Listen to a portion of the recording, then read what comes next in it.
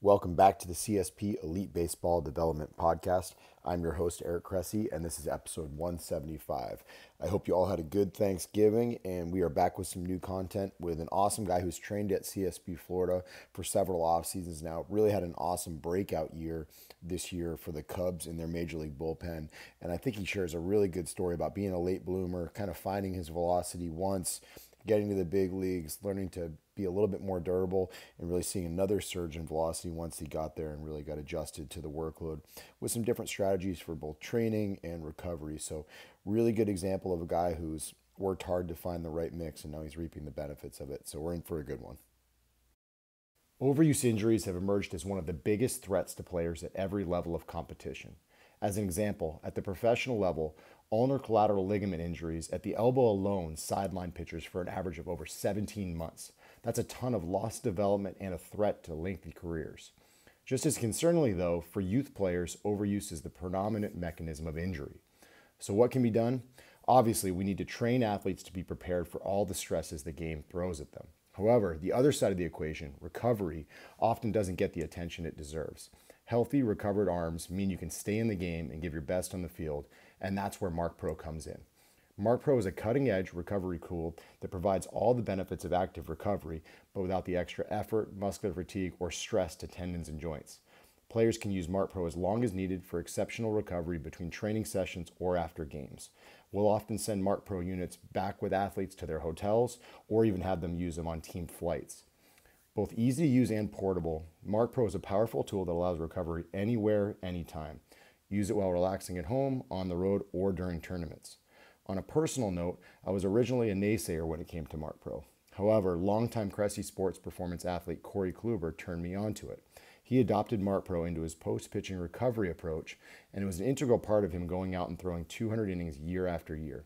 This led me to experiment with it myself and with more of our athletes, and the feedback was consistently outstanding. Now, just a few years later, you'll see it in every major league organization as part of the routines of some of the most accomplished baseball players on the planet. If you're looking for the same results enjoyed by these athletes, visit marcpro.com and use the coupon code CRESSEY at checkout for an exclusive discount. Again, that's marcpro.com, M A R C P R O.com, and use the coupon code CRESSEY, C R E S S E Y, at checkout for an exclusive discount. Today's guest is a right handed pitcher who was born and raised in California. He attended Skyline College for two years, followed by two years at Oklahoma Baptist University. In his senior year at OBU, he posted a 1.07 ERA and 132 strikeouts and 21 walks in 100 innings. The Cleveland Indians drafted him in the fifth round of the 2014 MLB draft. They added him to their 40 man roster after the 2017 season, and he was then traded to the Toronto Blue Jays at the end of the 2018 season. After starting the 2020 season at the alternate site during the pandemic, he was called to the big leagues on August 20th. He spent portions of the 21 and 22 seasons in the big leagues with the Blue Jays and was then claimed off waivers by the Chicago Cubs at the end of the 22 season. In 2023, he made 69 appearances out of the Cubs bullpen, striking out 98 with 35 walks in 72 innings pitched with a 3.38 ERA. Please welcome to the show, Julian Merryweather. Julian, what's up? Thanks for joining the show. Hey, how you doing, E? It's a this pleasure, is, man. Honor to be on it. I'm psyched, man. This is gonna be fun. You always are. You're always a life of the gym when I see you in the morning. So we get to to bring it to a larger audience tonight. Yeah, I, am a morning person, so we'll chalk it up to that. Yeah. All right, we'll do we'll do our best to stay awake. We're recording at eight o'clock, so this yeah. is this is big time for both of us. Um, all right, man. So so talk to me about your early sports career. I think a lot of people obviously know as you know big league pitcher Julian Merryweather, but what was uh, elementary, middle, and, and high school Julian like? I mean, through the years, I mean, I'm a kid around the neighborhood just playing all the sports, right? Basketball, just pick up football games, baseball, mm-hmm. wiffle ball, all that fun stuff. Um, I mean, in high school, it came down to, you know, freshman B basketball was my first official sport in high school. You know, I was a little role player. Uh, I mean, at that time, I'm five, six, maybe five, seven on a good day. Wow. They had this one play, they'd run up for me gate. I still remember I'd, I'd run the baseline right under the hoop I'd shoot up the the middle of the key through a double screen. You know, they give me the ball right in the the shooter's pocket, wherever they call it, and I'd, I'd, let it rip. And you know, I obviously missed a lot of them, so that's why I'm FMB. that's what that's why we're playing baseball today, right? Yeah, exactly. I don't know if my knees would have held up great on the hardwood, but yeah. Well, but I'm, you went to JSerra, which is not a slouch athletic school. Who, who are some of the more noteworthy alums besides Julian Merryweather? I mean, I'm definitely on the list uh, of pro guys, but I mean, there's a few guys that kind of crowd that list: Tom Brady, uh, Barry Bonds. Never heard of them.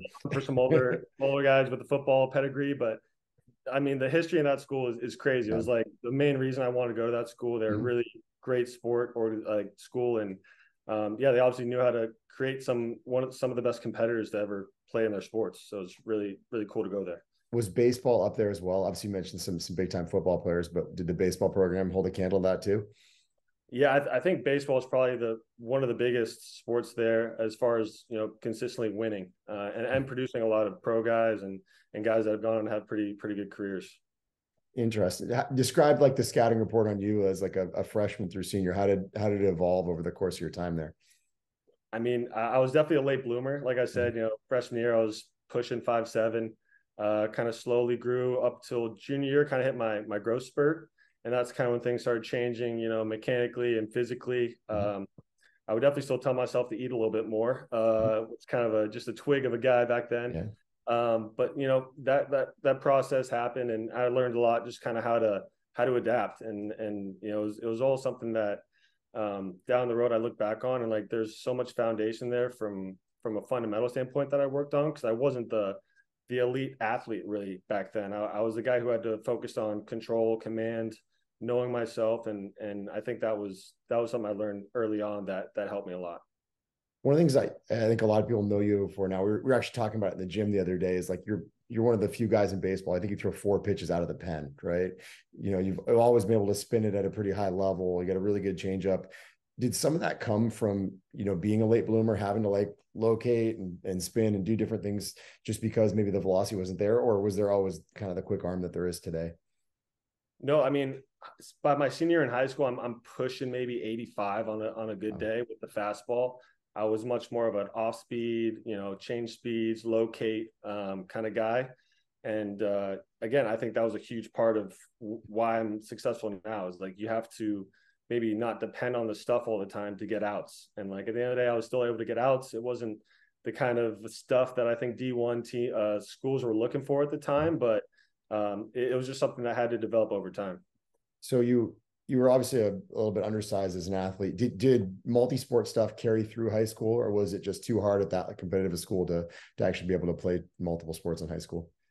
It was it was so competitive there that it was probably best to focus on one. Um, I will say there was a two week period. I mean, jumping ahead a little bit into JUCO where I thought I could still be a shortstop, mm-hmm. and being a two way player. I mean, looking at guys like Ohtani now, it's like you're playing two sports. You're yeah. you're not playing the same sport.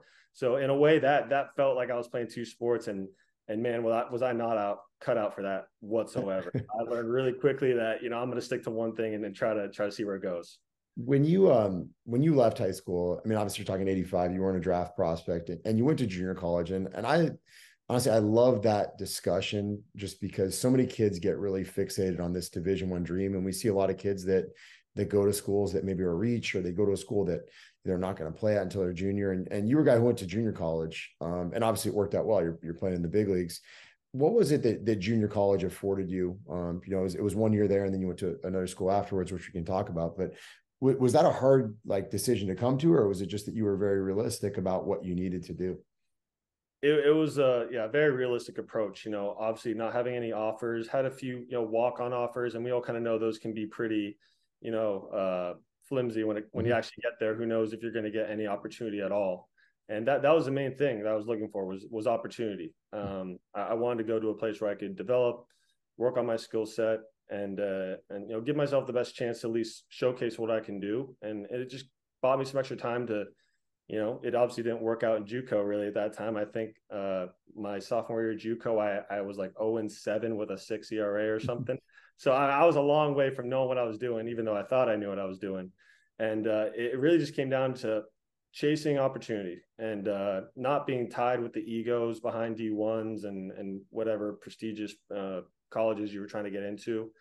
Uh, it just came down to the decision like, do I want to go to school just to go to school, or do I want to actually go to a JUCO where I know I can still play baseball and and uh, and try to follow that dream. So it actually came pretty close to me almost not playing baseball after high school just because, you know, I figured, oh, this might not be it for me. And uh, mm-hmm. still kind of having that dream. Like everyone has that dream. They don't want to just give up on it. So mm-hmm. following that dream, I mean, it just kind of luckily turned out for me. How did it change over the course of the four years? Because it looks like you had, you know, some decent initial set, success when you got to junior college. As you mentioned, the second year, actually, I pulled it up when you said that it was 0 and 8 and okay. uh, uh, 63 innings pitched and uh, 6.57 ERA. There was some tough luck in there if you look at the FIP and stuff, but um, you didn't pitch a whole lot your first year when you went to um, to Oklahoma Baptist. But then things clicked. So your last year at Oklahoma Baptist was 100 innings pitched, 132 strikeouts, 21 walks, and you obviously became a fifth rounder. Like, what was the development over the the course of the four years? Like, how did it? Was it was it physicality? Was it just velo? Was it just understanding how to compete against different hitters? What what changed so much during those four years? I mean, first off, I would have loved to have known that FIP even existed back then. um, made you feel a lot better. Hey, you're doing okay, buddy. uh, but that wasn't around back then, yeah. so I was just stuck with that six ERA. Uh, I can't believe they have FIP on junior college games from 2012. That's pretty pretty know, right? encouraging, right? but no, that that development happened. Uh, really, I, I, would say the the main uh, uh, turning point for me was my my junior summer. So after my first year at Oklahoma Baptist I had a decent year. Uh, the velocity still wasn't anything to really look at. It was still 85, 88, maybe on a mm-hmm. good day. Um, and I, I, found this this weighted ball program, the Texas Baseball Ranch, uh, which you know was really big back in the day, and uh, it opened up my eyes to a whole different way of mechanics and ways to prepare your arm and and just um, basically unlock a lot of hidden potential. I, I, kind of felt like I always had. I always had this athleticism. I just wasn't able to really transfer it to the mound. And mm-hmm. uh, years of coaching of hey, just kind of tall and fall and and low key and do this and that. It, it wasn't getting the the most out of me. I don't think so. Just kind of ha- having that little spark where I go to this this baseball ranch and it's a little three day camp and I'm in there doing a pull down and and they they clocked me at 100 on a on a basically a, a crow hop. Mm-hmm. and i'm a guy who's never hit 90 in my life. So i see 100 on a radar gun and i'm like well what the heck's you know going on here? Obviously there's there's some there's something in there that i that i mm-hmm. haven't untapped. And uh it was really it was really like a huge eye-opening experience. But then the road from there was not really that that easy. It's not like i jumped on the mountain. I was 95 all of a sudden. It was that first spring game in my senior year, I was I hit 89. Then then the next spring game I hit 91 and then 92. And then it just slowly kind of built up. The more I kind of stuck with the program, uh, the more I kind of just, you know, was experimenting with myself as well. Um, one of the main things I loved about OBU uh, was that they were very kind of hands off. Mm-hmm. Uh, the the pitching was kind of letting you do what you you do. You know, they brought me over and they after my first year, they kind of believed in me and it was very just hey do your thing. And i think that gave me a lot of room to explore uh figure out who i was and and find success. At the end of the day i, I needed to put up some numbers and kind of back up what i what i was doing at that point. I mean it's awesome. It obviously paid off for you. You know you always hear about you know i always worry about guys being almost like an injury risk when the velocity spikes that fast. You know i mean you almost want it to just be like this gradual linear progression where guys you know, go to college at 88 and they're 96 their senior year. And it's just like, oh, it's two miles per hour a year. Everything works out well. Did you go through like significant soreness, anything like that as you as you saw that spike? I mean, that's a big deal to almost like PR every week out over a you know a one year period. Was that was that a hard thing to adjust to adjust to workload wise? I'm thinking back. I mean, being 21, man, yeah. I, think that takes care of a lot of the yeah. sore. yeah. Uh, it was more like, all right, I want to throw more. I, I like yeah. I, am throwing this higher velocity. I want to throw it more. I want to train it. And you know, it wasn't. You didn't have the guys kind of pulling you back, saying, "Hey, we should, you know, take this slow." It was all just a learning experience for me. So yeah, there's uh, definitely days where you're getting pretty sore, but you know, college is also nice. You're throwing once a week. Uh, the recovery isn't nearly as really important as it is the higher levels where you're expected at least in my role now, to be ready, you know, 50% of the time, 70% of the time as a reliever. Um, yeah, so that was that was something I, I didn't really have to deal with them, but I mean, we'll get into it. Like obviously getting into pro ball and, and maturing, that, that becomes a huge part of your routine and, and how you're gonna kind of go day to day you, you kind of hinted at it, but the seven day rotation, you can you can get away with murder, right? Like there's lots oh, yeah, of there's lots of time. Everybody feels 100. percent You talk to anybody that goes to a five day rotation in pro ball, and it, it hits you in the oh. face, right? It's it's tough to bounce back. And you came to pro ball after you're drafted, and you were starter for a little bit. Um, Tommy John got you there not long after, and, and you came back as a reliever. What was the rationale for the switch? Was that something because you're still a guy that, that threw a lot of different pitches and, and and located them well and had nasty stuff was that adjustment you were in favor of? Was it something you fought, or you know, how did it all go down? That that I mean, I, obviously, I think most guys in the big leagues, whether you're a reliever or starter, I, I think most guys at some point were start as a starter, and yeah. it comes down to just circumstances. And I mean, for me, it just came down to, hey, we got to keep this guy in the field. Uh, mm-hmm. With the Jays, I, I was traded for Josh Donaldson, so the expectations were pretty high, and I mean, as I said, it was either MVP or bust for me, mm-hmm. and it was obviously more of a bust. But uh, you know, like going through that process as a starter, and and really the rehab start uh, process with with Tommy John, you learn a lot about your body. Um, I was someone who really dove into rehab, really hardcore. You know, mm-hmm. jumping on all the modalities, doing all the exercises, really getting my body in the the highest peak form. Mm-hmm. And I think what I didn't realize at that time when you're so ingrained to being in rehab is that you don't have the same workload from a baseball standpoint. Yeah. Like the, the, the workload in the gym is high, but you're you're they're kind of tailoring you down with the baseball and slowly building you up.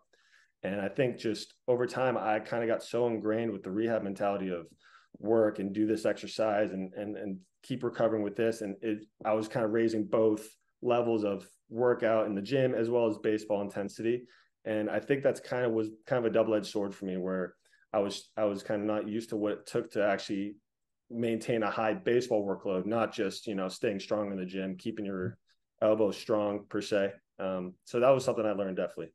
How long did it take to kind of adjust to that, right? Because you're you're obviously in like rehab mode, rehab mode, rehab mode, where it's just like do this, recover, do this, recover, and then eventually you get thrown back into the circumstances of baseball, where it's like, hey, you got to throw back to back. Good luck with your own protocol. We're gonna we're gonna put you on a nine hour bus ride and see how you figure it out. Um, you know, what were some of the biggest things that maybe you learned through that that Tommy John process? Yeah, obviously learning how to balance, like looking back, it's more of like I can look back and see, hey, I, I was attacking my rehab uh much I was attacking like my my healthy baseball workload like I was still in rehab. Like mm-hmm. I was crushing BFRs. I was still crushing my lifts. Mm-hmm. And it felt like that was what I needed to do to stay healthy because obviously yeah. all rehab they're trying to keep you as healthy as possible, feeling yeah. as good as possible. There's no schedule. So I, I, just didn't realize that when you actually have to shorten up the the recovery times, that I wasn't, and I don't think anyone really could really bounce back when you're when you're throwing so much at your body. Um, mm-hmm. During season, baseball comes first. Like the mm-hmm. weightlifting takes a, takes the back seat. Off season, obviously, weightlifting takes you know the you know takes the wheel, and that's really going to drive it. But you know that was that was a huge thing I learned just knowing what my body was capable mm-hmm. of and then, I mean, obviously, the whole difference from being a starter and a reliever. I mean, yeah. your, your intensities are totally different. Your warm up routines are different. You don't really have that routine as you have as a starter. Um, so it, it's much more of a as a reliever, it was, it was really learning how to survive each day. And then mm-hmm. that, in, in a way, that kind of helps you down the line, realizing what your body can handle looking back, I almost kind of see why there was. It's obviously always easy to say this in hindsight, but why there were some struggles, right? You have the you have the normal struggle of like college to pros, like the competition is is more intensive, the travel is more extensive, um, all that side of things, and then you know a lot of guys get shifted from starting to relieving during that time period. And then, hey, here's a new elbow. Go go figure it out. Good luck. And, and you know, we're not going to tell you when you're going to pitch. You know, those yeah. there's just so many variables that come into play, and I don't think people realize that you know, like pro ball is it's a very uncontrolled circumstance. Um, you know, like off season rehab mode, college mode, all that stuff is a very, very controlled dynamic. You have people telling you when to go to study hall and you, all the travel arrangements are very meticulously manicured. Yep. Pro ball, it's it's a long season. There's a lot of places where things can go wrong. Totally. totally. Um, talk to me about what are, what are lessons that you would share to others who, who are maybe embarking on this Tommy John process? Obviously, elbow injuries are are sky high. It's big, actually, big conversation point in the news today um, with pitch clock stuff and all that as well. What what are some of the lessons that you would share with, you know, the 17 year old the kid that's that's going through this? Um, I mean, my biggest takeaway was was patience. Uh, mm-hmm. Like the mental game in rehab, I, I can argue is probably harder to deal with than being healthy and going through a full major league season like I did mm-hmm. this year. It, like the grinds that you go through mentally, kind of you have to give your brain something to mm-hmm. uh, to do. You know, I'm a guy who's kind of a cerebral guy, so if if I don't have that kind of challenge, I'm I kind of lose a little the sense of that. Let's say so. I mean. I think that prepared me for for being in the big leagues and realizing that you know mentally I, have worked on a lot of those things. Uh, getting to certain books that I was really interested in about stoicism and and dealing with failure and how how you bounce back and uh, a lot a lot of good lessons I learned kind of through that process where I could you have the time when you're in rehab and it's a lot better than going back home after your three hour day and then sitting on the couch. You know, there's stuff that I, I had to do just to keep my brain busy. Mm-hmm. Talking about the pitch mix, like it's it's adjusted over the years. Um, it's it's obviously it's it's elite. There's a lot of good things happening there, but I know you didn't just roll out of bed and start throwing these when you were 15. How has it evolved since you were in high school? It's it's been crazy, man. Because I mean, I I was really just a fastball changeup guy in college with with a loopy curveball that kind of it got by, but I was just here's here's 95 and here's an 80 mile an hour changeup. You can figure it out, and that mm-hmm. was that worked for me for for a long time. Uh, obviously, when you get the pro ball, like having a nasty breaking ball is such a such a differentiator. Um, it actually took me a long time to develop my slider now. Um, I would say I started really getting my slider down in 2020, 2020, 2021. It became a pitch that, oh, this is this is going to play. And uh, I was able to get through those years kind of with the fastball slider as being my focus. The changeup kind of took a back seat.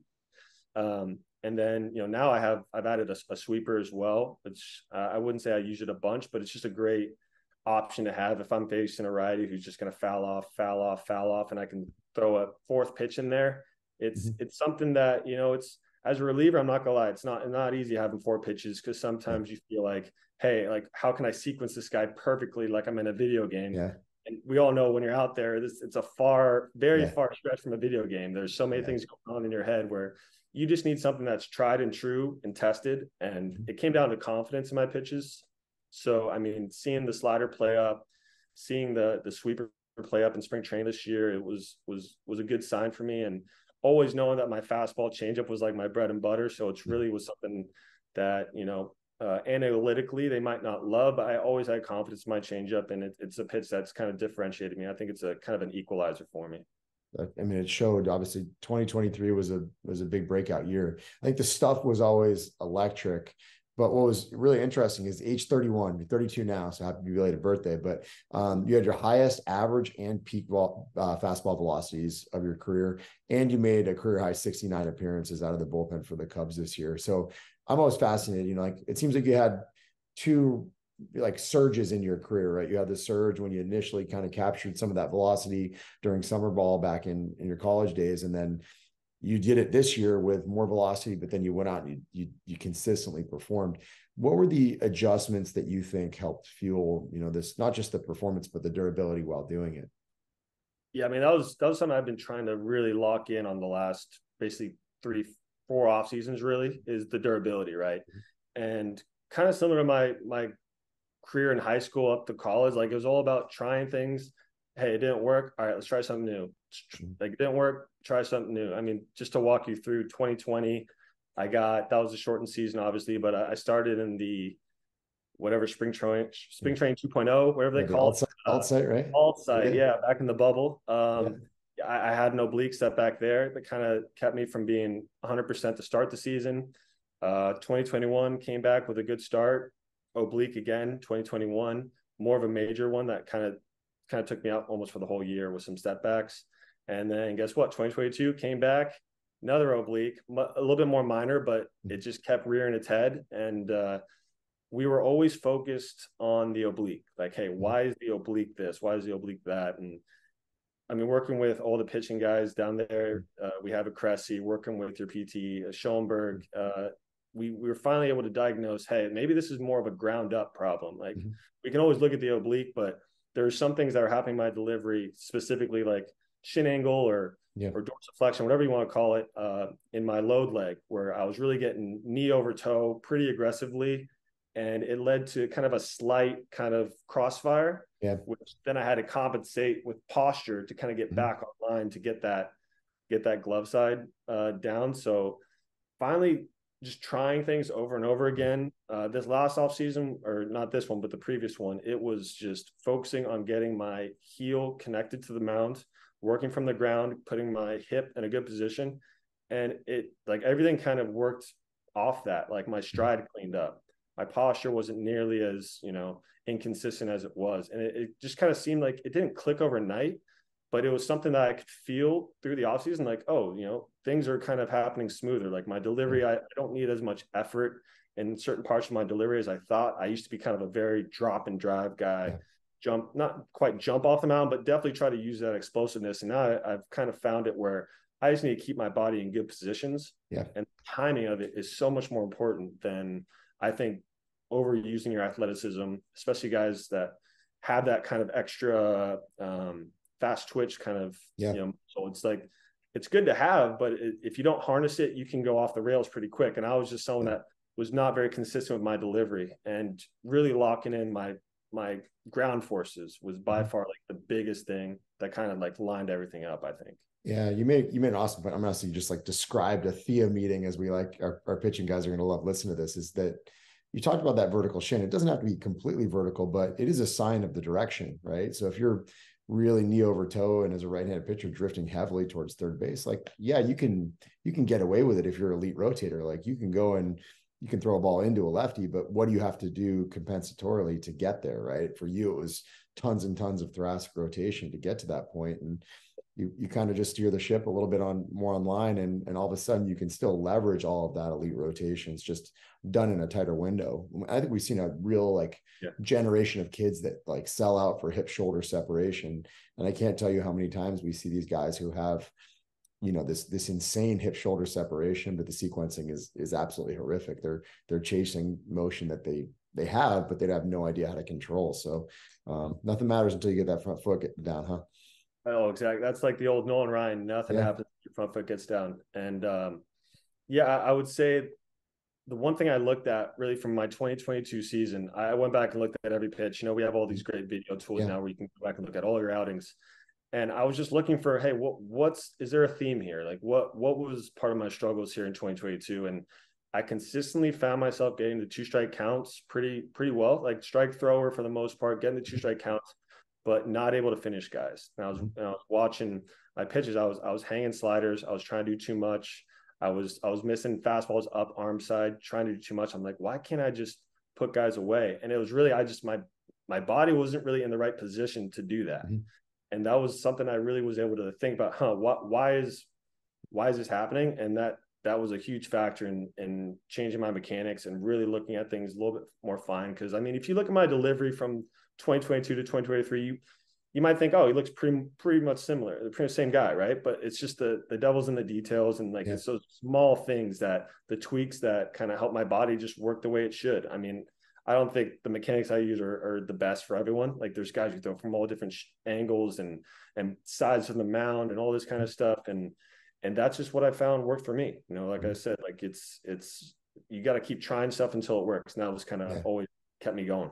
Well, I think there's there's positions and then there's pressures, right? Like you know you can, and, and this is why I've never really been a big fan of like looking at still frame photos of the delivery. Like they can be very deceiving because you know, to your point, it doesn't talk about whether you're like actually working into the ground, whether there's like a an actual back hip load with some counter rotation, or if it's just kind of just collapsing into your to your knee and drifting, you know, kind of towards third base. I think that's a, a really good point. So i always understand pressures versus positions. Um, when we talk about injuries, I always relate things like there's there's load and then there's capacity. And an injury happens when the load is excessive relative to a, a tissue's tolerance for it. Um, and, and certainly by making those mechanical adjustments, you you you reduce the load, right? Like you just don't beat yourself up nearly as much when you're staying in a tighter window and rotating efficiently versus like hanging out on joint end ranges. But I'm curious, you know, even beyond like that, 69 appearances in a big league bullpen, and that's just the ones that we know about, right? There's you know, there's also all the false alarms where you get hot and then go sit yep. down, or you know, you, you, you're pitching a rain delay and the game doesn't count, or whatever it is. Like what are some other key strategies that you employed to stay you know fresh throughout the year and, and do you have any advice you'd give to relief pitchers who are getting up to higher levels and you know they've hey, they've been throwing every third day in the minor leagues and it's a it's a perfectly structured schedule that they have no idea what's ahead i think that was part of it for me it, it was definitely growing pains in the bullpen um, you, you go from being a starter where you're going to conserve your bullets and just try to try to get the volume out and then once i was a reliever it's like oh i can just empty the tank in one inning Mm-hmm. And that mentality hurt me a little bit because mm-hmm. when I would go back and reach back for extra, I was I was putting myself in bad positions. Um, the every time I thought, all right, this I'm gonna give him my best fastball. By by 2022, I was I was almost like, I don't, I'm not sure if my body can handle this stuff. I know mm-hmm. I, I have the the extra intensities in there, but it's something was always in the back of my mind, like I'm not sure I can really let this rip. Mm-hmm. And coming to 2023 and, and all those mechanical adjustments by I would say by about midway through the year, it really started clicking pretty well with the velocity kind of starting to go up. It was actually like I, I wasn't trying to throw as hard and and I didn't have to try to dig for that extra. I was throwing more at my 85 to 90 percent competitive, not always trying to oh let's let's throw this ego heater right here and and look at the scoreboard.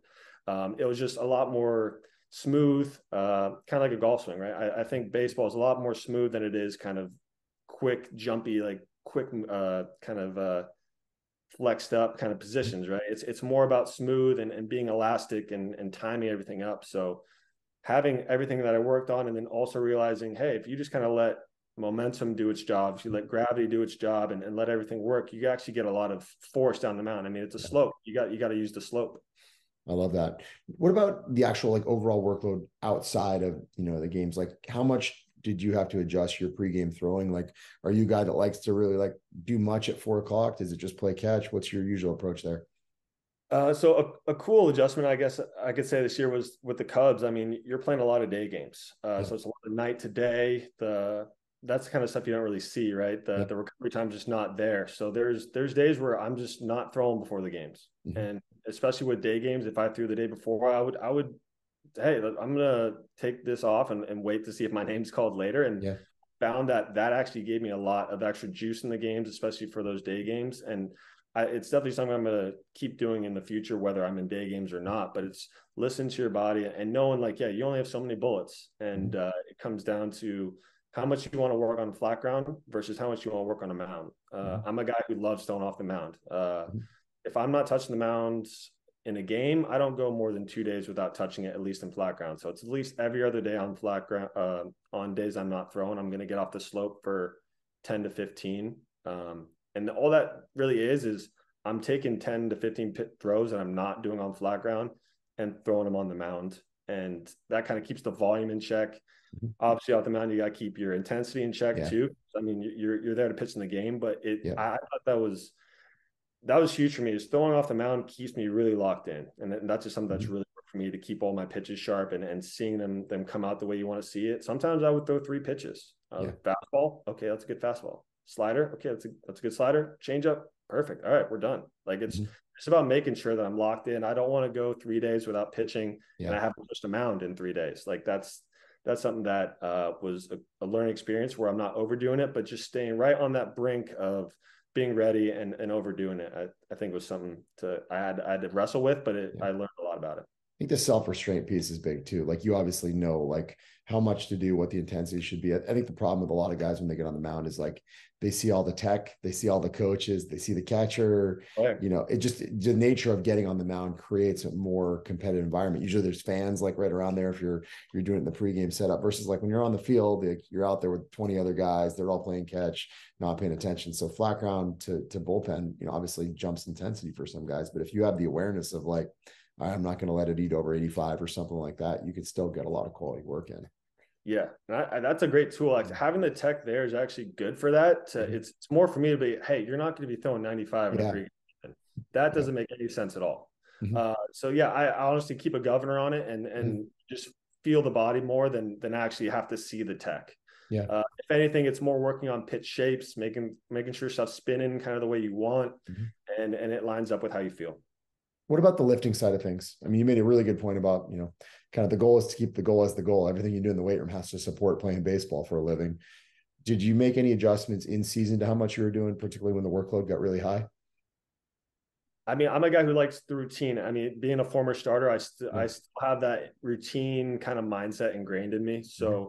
Something that I've I've always done is I lift on the second game of every every series. So yeah. it basically comes down to two two lifts, maybe three a week, and it kind of goes back and forth between a what they call like a neural neural lift, which is kind of just more of like a body priming lift. Just hey, get mm-hmm. the body moving. Maybe I do it before throwing that day. fast. Yeah. Exactly. Just like kind of do a few few sets of everything just to run the body through something. And then you have your days where it's usually a post game lift would be the heavier ones where maybe if I throw that day, I would pick a pick a heavier lift just to kind of try to get all my recovery into the same same night. But mm-hmm. that was uh that was kind of my my in season uh, lifting program. I mean, obviously off season, I'm with you guys. You're killing me right now, dude. so killing me, man. I, am surprised I'm right now. so I'm doing this sitting down. Um, talked about like uh, other recovery modalities. What do you like? Are you, you know, any kind of like BFR guys? Are you hot cold, manual therapy? What do you like to use between outings? All the above. Uh, yeah. I mean, the modalities now you get in the big leagues is just amazing. Uh, we have we have a sauna, we have cold plunges, we have hyperbaric chambers, the BFRs, obviously all the soft tissue you need. Um, and for me, it was it was really locking in on all right, what what are the things that I like the most? So for me, it was like doing a really intense sauna, probably once every two weeks. Mm-hmm. Um, not not every day. I don't like doing it every day. I like getting a real intense kind of reaction from it. So I'll be in there from anywhere from an hour to an hour and a half. Jeez. With, with some breaks, a few Dis- breaks. Disclaimer for the folks at home. yeah, yeah. Don't do this all and don't listen yeah. to what I'm doing for yeah. sure.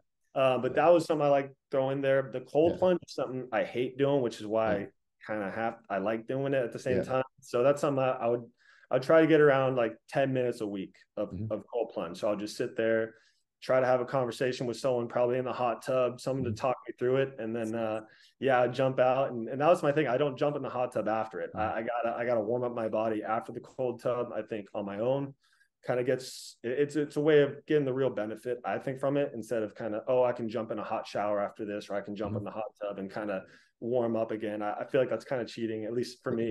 You got to embrace uh, the suck it's a little bit of that and just yeah. kind of i think that's such a mental mental mm-hmm. game too because you realize that your body's just ringing up these these fire alarms inside and you realize oh it's just your brain telling you to do things when really you're you're in control of it and like that's kind of what one thing i took from that is when you're out there pitching you can't be given into these these like little feelings you might have like oh this feels a little sore today this this doesn't feel right or this is mm-hmm. like you know a little bit off today. It's it's all about focusing on on getting through the moment and like mm-hmm. each breath in a cold tub, you're just trying to get through each moment, and that's kind of what it is out there when you're pitching too. It's an interesting metaphor. I like that. What's next for you? Um, how do you how do you continue to refine and improve as you as you attack this career? Uh, I mean, there's there's always when you have four pitches, you can always be working on something. Uh, yeah. I think mechanically, I I found a delivery that I think is is going to work for me. Uh, it's all about making making the small small adjustments to my pitch repertoire. Uh, like I said, the changeup was a it's a pitch near and dear to my heart. You know, it kind of was always my favorite pitch growing up. I loved Trevor Hoffman as a kid. He was my favorite favorite pitcher. Uh, I got to meet him actually once uh, on at his beach house, luckily enough, and that was a funny mm-hmm. little story. But I mean, that's always been a cool uh, pitch to have. And and this last year, I kind of fell in love with the slider. I would say a little bit more, and I, I totally want to use that pitch more in the future and, and continue to develop it because I think baseball is always going in different directions. You know, yeah. you've seen it over the years. You know, it's like, all right, can we get a guy with a four seam vertical with uh, with an absolute hammer curveball, and then it became the sweeper, and then it became the you know the cutter or the gyro. It's like if you can kind of just keep all your all your weapons kind of ready, it kind of mm-hmm. prepares me for any battle out there. So whatever the hitters are adjusting to, I can at least, oh well, I'm going to make sure you got to think of this pitch too. It's not, I'm not a, a one trick pony kind of out there. Right on. Um, all right. We always wrap up with a lightning round. I feel like you're going to be, you're going to be great with your responses. You're, you're, you're, you're a witty guy. You're very quick to, to, to come through. Um, who do you like to watch? What pitchers? Oh man. Uh, so coming from the, from the blue jays, there's some, some guys out there with just some tremendous, crazy stuff. Uh, Jordan Romano closer for mm-hmm. them similar kind of pitch mix, uh, which is the fastball slider. Uh, he's just an absolute dog out there, competitor. Mm-hmm. Uh, Nate Pearson, guy with just mm-hmm. unbelievable stuff. Just a fun guy to watch. I mean, when I was throwing bullpens like to him in spring training, it's like I thought I threw hard until I mm-hmm. stood next to him on a mound. I'm like, oh, that's a different level. He, this is a thousand horsepower guy right next to me, just absolutely letting it eat. So those are guys I always kind of love watching because like, man, that's stuff I cannot do, and it's just fun to watch people do stuff you mm-hmm. can't do. Um, I mean, there's so many guys. I mean, guys. Are there guys you model yourself after? I mean, you mentioned Trevor Hoffman, but are there guys where you see elements of you in the game? You mentioned Romano a little bit, obviously. Yeah, Romano, I think is is pretty similar with the fastball slider approach. Yeah. Um, with the with the Blue Jays, I was kind of definitely more of a fastball slider guy mm-hmm. as well. Um, I like guys like Tyler Kinley as well, uh, Justin Verlander, because they they have pitches that they have maybe one pitch that I have that I can see how they use it and mm-hmm. how I can implement it in my game, how they set it up when do they throw it what counts to what hitters and and it's just always a cat and mouse with the hitters yeah. so it's always cool to see um, some guy who i have really not a lot in common with at all uh, kyle hendricks Yeah. He's a guy I love to watch, not mm-hmm. only on the mound, but I watch him when he's uh, not on the mound in the clubhouse. He is just right in his his iPad looking at hitters, yeah. like breaking them down every day. Like that's the stuff that makes him so great. And I was able to kind of just learn from him. And he's such a cool guy. You can yeah. you so locked in in the zone, and you can walk by him and say, "Hey, Kyle, like, are you are you looking at the line?" He's like, "Yeah, you want to come and and look at these guys?" I'm like, "Heck yeah, I do." I mean, yeah. you're you're you're the professor. I'm here to take notes. uh, so he's it, it's cool to see all those all those guys do different things, and you really can learn from I think anyone. You know, take a lot from anyone. Yeah, Kyle Hendrick, great previous podcast guest for those who haven't checked it out already. One of my one of my favorite episodes. Um, what about favorite teammate of all time? It can be for any reason. You don't have to pick just one oh, either. Um, probably a lesser known name. Hmm. Uh. This goes back to my rehab days with the Jays. Uh, Devon Travis, yeah, yeah. Uh, baseman, uh, County guy. Yeah, no, he's. I mean, one of the best human beings on and off, like not even in baseball, just some of the best like character I've ever seen in people. And like I said, the mental grind of rehab, the way he can be so positive and uplift not just him, but everyone around him in that setting is like mm-hmm. so crazy looking back on it. Like when you're in rehab, you're so focused on your stuff. How am I ever going to get back? Am I going to play again? There's all these thoughts. And like having a guy like that who can just like just give you a break and just lift everyone up and you can have a good time even in that setting i was like it it, it blew me away um, he's probably my number one i mean there's guys that i play with now i i love being with the cubs you know dansby swanson one of the most great stand-up guys you can you can have in a clubhouse james Taillon. these guys are just absolute pleasure to have around you know they're guys you want to hang out with like outside of baseball which i think mm-hmm. is is a huge sign of a great great teammate for sure I love that. All right. So big time high school. Then you went to a junior college, you went to NAIA, and then you played for three separate organizations as you've gone through baseball. So you've been around a lot of different coaches at a lot of different levels. I'm curious when you look back, uh, what were some of the qualities of the best coaches that you've had along the way? Oh, I mean, yeah, it's baseball. You, you, can get into the X's and O's. You can get into the oh, what what am I doing here? And and we have so much tech now. I think that helps coaches identify certain things. Uh, whether oh, uh, your stride length is here and there, and, that, and that's that's great. I think every guy should know themselves really well and, and use those tools. But I found that the coaches that I you know really learned from the most were the coaches that were trying to build a relationship with you yeah. and and really get to know you as a person. Because then you you felt like they were really um, they're really invested in your mm-hmm. career and that that goes such a long way for minor league players and, and guys who are coming through the system when they're just kind of they're not really sure of who they are yet and if you have a guy who kind of believes in you and, and really is getting to know you you're like oh wow this guy believes in what i do and like it just gives you that that confidence i, I guess to kind of truly fulfill that potential i think. And and that that's probably something that i've seen in, in all my favorite coaches. Like they they're they're there to build the relationship as a person first. And then you know it, it, that itself i think helps you go out there and perform for sure. And it becomes a collaboration right? It's not just him telling you what to do. It's you exactly. giving him feedback that that builds on previous interactions. I love that. What about uh, going back in time? Give teenage julian merryweather some advice. Oh man. Eat eat something you little twig man. I, I mean i just I, I, was always a guy who liked being in the gym. I think n- nutrition was something that I just kind of wasn't as focused on. Um, so I'll just say, hey man, put put the fork to mouth a little bit and and then fill out. But I mean, as far as baseball advice, it, it would be kind of just, hey, you got to keep trying, keep trying stuff. Uh, the way I got to where I am is I just I would fail and I would try something new, fail, try something new, and and it's really discouraging. It's hmm. super super discouraging. You get in some pretty low spots. And I would just, I mean, I went through that and I got through it, but I would just tell myself, hey, man, you the lows are, are going to be worth the highs for sure. I love that. And I love the the nutrition advice because it is Thanksgiving week. We should oh, remind yeah. remind all our listeners that leftovers are for quitters. Um, and on that note, man, thank you so much for taking the time. This is really good. Got to turn over some rocks that I didn't know about you and learn a little bit more after uh, after seeing you for a few years here. I appreciate it. This has been a lot of fun. I appreciate you having me on. Good stuff, man. We'll be cheering for you this off season and beyond. So thanks for taking the time. Of course, man. Thanks so much for tuning in to the CSP Elite Baseball Development Podcast. We really appreciate you carving out some time in your schedule to listen, not just to this episode, but also to some of the episodes from our archives. If you enjoy what you heard, we'd love it if you'd share it with friends, colleagues, and teammates, as well as leave us a review on Apple Podcast and Spotify. Thanks again for your time.